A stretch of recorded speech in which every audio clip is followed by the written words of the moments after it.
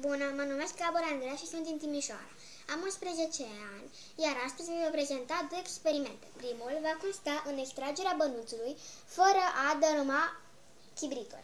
Vom avea nevoie de patru bețișoare de chibrit, o cutiuță de chibritul și un bănuț de orice fel. Le veți așeza ca în imagine. Vom aprinde cel de-al patrulea chibrit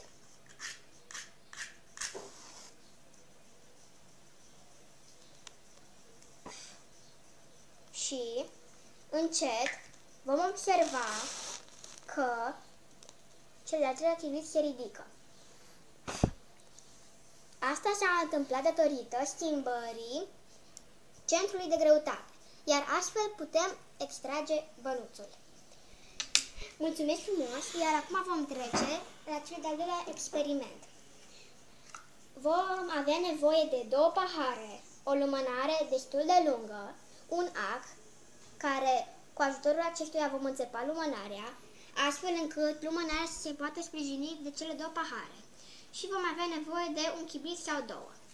Vom aprinde pe rând capetele lumânării.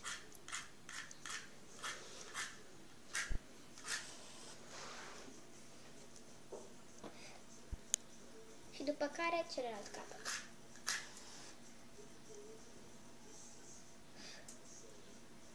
Iar încetul cu încetul vom observa că lumânarea începe să se clatine. Acest lucru se întâmplă datorită schimbării uh, greutății.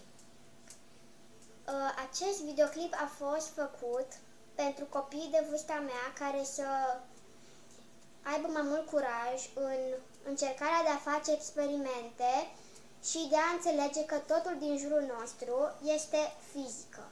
Mulțumesc pentru înțelegere și sper că v-a plăcut.